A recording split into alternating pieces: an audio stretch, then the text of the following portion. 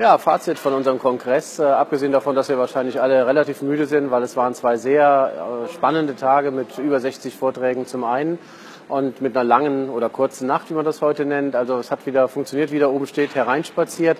Alle sind hereinspaziert, über 300 Kollegen haben sich ausgetauscht, nahezu 19, 20 Stunden pro Kalendertag.